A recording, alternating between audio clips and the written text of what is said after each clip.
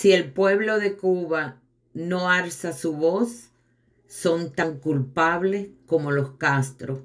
Están cooperando para la destrucción de Cuba, para el hambre, para la miseria y para la represión.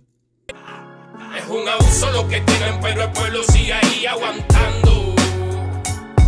¿Hasta dónde y hasta cuándo lo que hace falta aquí es un?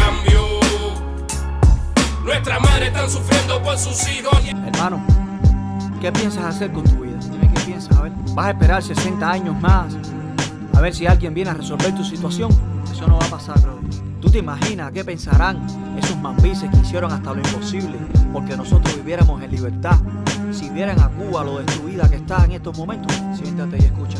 Y por conciencia, ¿Qué dirá José Martí, Maceo, Quintín, Bandera y todos aquellos que dieron por Cuba su vida entera? Si supieran que mi isla hoy la tiene secuestrada, un canalla que la humilla y el pueblo no la libera. Si Agramonte lo supiera, Máximo Gómez Mariana, después de defender a mi bandera cubana, si vieran que un dictador a gobernarla se aferra y el sacrificio del ejército mambí lo echó por tierra, ¿qué dirá Julio Sanguilín? Calixto García, si vieran cómo la Cuba que amaron está destruida, yo estoy más que convencido que si dependiera de ellos, se volvería a escuchar aquel toque de adegüello. ¿Qué diría Fran País, José Antonio Echevarría, si ven que todavía en Cuba hay una tiranía?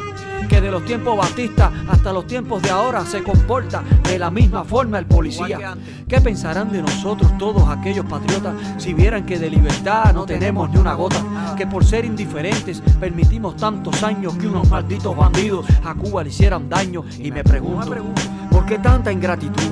Cubano 100% no, esa no es nuestra virtud. Debería darnos pena con estos hombres valientes que perdieron sus vidas por regalarnos un país decente. ¿Cómo es que hemos permitido que aún exista un delincuente que tenga mis litas en ruinas y dividida mi gente? ¿Cómo es que nos engañaron con doctrinas en la escuela y perseguimos absurdos que en vez de hacer